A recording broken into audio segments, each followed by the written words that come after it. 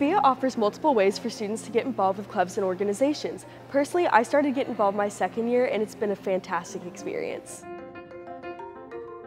So far, I've gotten involved with the SPIA Student Ambassador Program, the Fry Fellowship, in which I conduct policy research alongside a local state representative, and the undergraduate moot court team, in which I analyze precedent and formulate arguments that would be used before the Supreme Court.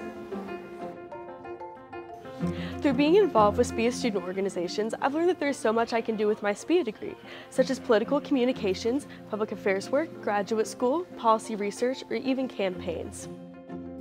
Personally, I'd love to get involved with policy research within the Georgia State Legislature.